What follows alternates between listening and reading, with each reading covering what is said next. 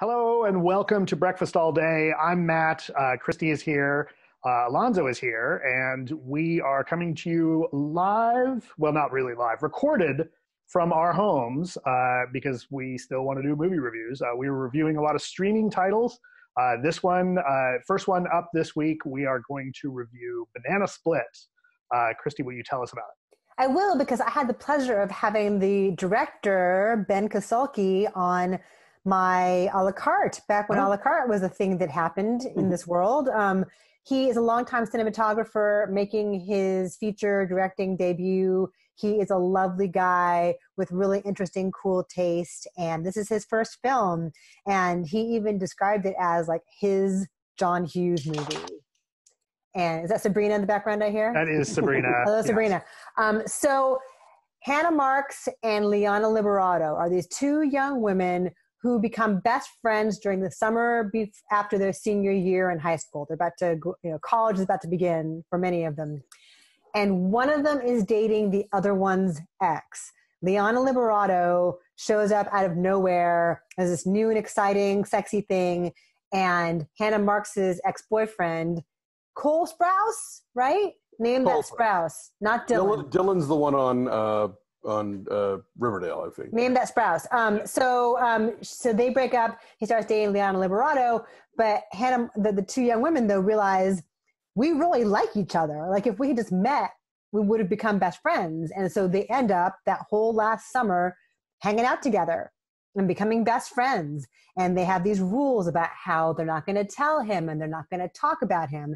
And it's a really tricky line this movie walks. It's extremely raunchy in all the best ways. The dialogue feels really true. Hannah Marks co-wrote it, and um, and just, she's friends with her, her, co-star in real life. They are best friends in real life, yeah. yes. And that that chemistry you can really shows. It, it, feels alive and very authentic.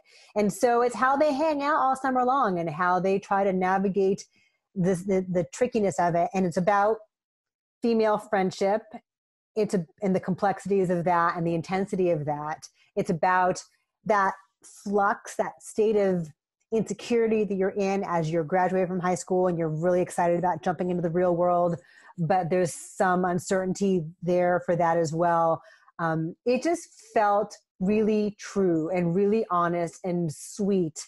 Like it's it's raunchy. It has a raunchy, sweet balance just so beautifully. And I had a blast. I loved it.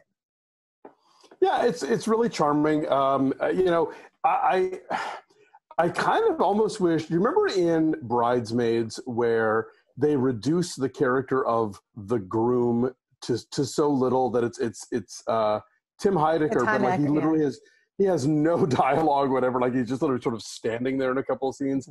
I kind of almost wish they'd gone that far with the boyfriend because he winds up being kind of a nothing character, and you you know I mean, he, he's basically there as a plot device, which I think is great because I think usually women get stuck being the plot device in movies like this, where it's all about the men. But because he plays such a large role in these two women's lives, I, I found myself thinking a little less of them because they were so fixated on him and he was so whatever, you know. So I, I don't know. I, I almost kind of wish that that they had just kind of gone further in erasing him from the narrative and really just making it about the idea of him as being an obstacle for the two of them. Because when the two of them are on on screen together is really I think when it pops the most. Although I did like Luke Spencer Roberts a lot as his sidekick. Mm-hmm. Well, he's sort of like a Duckie Dale figure, isn't he? I mean, if, if, we're, if we're going to extend the John Hughes metaphor here, yeah, he feels bit. like the wisecracking, like oddly dressed best friend who secretly right. has a crush. Yeah, I, I enjoyed this too. It's it is the dialogue's really sharp. I mean, it's it's granted, you know, you no 18 year old really would talk like this, but um, it's very fun. It's you know, it's kind of got that kind of snappy, rapid fire, um, screwball dialogue, um, which you know, it, it's a lot of fun. You're right. The the two leads have terrific chemistry together. I like that they made it clear real early on and and stuck with it. Like these girls are not going to fall in love with each other. Like this is a friendship story. Um, and it's, you know, you get emotionally invested. Um, I, I found myself, you know, especially having just watched, which we'll talk about in a little bit, Big Time Adolescence. This movie is much, much better than that than that one. Mm. Um, yeah, I, I had a really good time in this um, and found it. Uh, I hate to use this word because it's so cheesy, but it's delightful and it is. Um, it really is. It's really and, charming. Yeah. Yeah, and and just the way, you know, after I watched it, I told my wife, "It's like, you know, you should have watched this with me because it's really sharp, and uh, the way they make it work, you know, the the way the ending comes together, um, and uh, I I just really enjoy it. Like I I kind of am blanking a little bit on like, you know, uh, I think I think that that Booksmart has been really good and bad for movies like this because on the one uh-huh. hand, it's an easy shorthand to explain what it is, but at the same time, like Booksmart's so good that these other movies in its wake kind of don't quite live up to it. Like I think you know, Good Girls Get High is another one of these movies that played the festivals and had a lot of buzz behind it, but then it's like, yeah, ultimately it's it's good, and I want to see what else these actors and, and writers do, but you know, Booksmart really is taking it all to another but level. You know? I think this is a much different movie than Booksmart, right? Because Booksmart is about two longtime friends who are going through their last night, like they've got their their big plans for their last day, mm-hmm. big party, and how that, you know, what's coming up next in their relationship. Where this one is about a friendship that caught both of these two people off guard. Um, right. And the movie's really smart about, like, they get everything with Hannah Marks relationship with Cole Sprouse done off the bat with this like two minute montage, right? Mm. Like they don't spend any time getting you invested in that relationship. Like, here's all the stuff they did, and right, and it's. I thought that was really clever, and so you get to focus on this friendship and the ins and outs of it, and and what how these two characters make each other better people. Um, and then we also have to talk about uh, April's family. Her, oh, right. Her mom and her sister. Her mom and her sister. Oh, God. Her sister is terrible. Her sister She's is so a terrible, terrible, terrible person.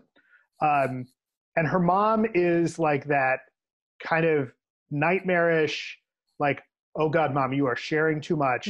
Please stop. I know you're trying to be cool. And, you know, as a parent, I was like, I don't think I'd say that to Gabe or something like that, but I could see the desire to kind of just treat your teenager like a fellow adult. Um, let me tell you, that doesn't work because uh, but yeah, there was a lot of that was. I would I would totally watch more scenes with that family because it was hilarious. No, there's a lot that I like here, and and and uh, yeah, I think obviously plot wise it's different than Booksmart, but I think tonally this notion of like these two very precocious young women, as you said, speaking in the way that no 18 year old probably really ever does. Um, you know, I think there's a there's a, a, sense of breeziness and of banter and stuff that those two movies really do share, and so it's hard not to compare them. You know, as unfair well, as that might be. I would argue that's also part of the John Hughes homage right? Characters sure, yeah. who have the snappy retort at all times. It's it's like slightly heightened, but mm. not completely unrealistic. It's still, still rooted in a recognizable place. So I dug also, it. I'll have to go back and find my, my Ben Kasulke interview and, and go repost that because uh, he was a delight to talk to. He's worked with the Duplass brothers a lot and Lynn Shelton and done a lot of indie stuff for a long time. Madden. Yeah, so I'm really happy to see him. Uh, he also did an episode of Who Shot Ya if y'all want to go dig that up. Uh, I think we talked about 1917. We had him on as a. Uh, his... I have not talked to him, so I have nothing. He's like uh, six foot six and he has like crazy Tim Burton hair. Nice. Uh, one thing I do want to say um, also, great soundtrack on this movie. Like a bunch oh, of like. Yeah. You know, uh, girl punk songs. Um, mm-hmm. Yeah, really, really killer soundtrack. Yeah, cool. very good uh, uh, music supervision going on here. Awesome. Well, I Ben loves music. It's very important to him. So um, I'm saying eight point eight. What are you guys saying? What did I say? Uh, I Alonso, I'll just tell you what you think. Um, Alonso, you said seven point one, and Matt, okay. you said eight point five. Yeah, eight point five. Okay, our number is an eight point one. It's good. It's, it's good. a lot of fun. Streaming. It's streamable through like iTunes and a bunch of places. I want to say. Yes. Yes. iTunes, Amazon, wherever you rent stuff for streaming, it's there Uh, thanks for watching. If you're uh, checking us out on YouTube, please like this video and subscribe to our channel. Uh, wherever you are, you can follow us uh, on uh, Instagram, Twitter, and Facebook at bfastallday. And, you know, mosey over to patreon.com slash bfastallday. Check out extra goodies that we have for our subscribers, including right now we're talking about the HBO series um, uh, Westworld and The Plot Against America and Netflix's Tiger King. We have thoughts. Do that So again, anyway. Christy. so check that out. So thanks for watching. We'll see you guys next time. Bye. Bye.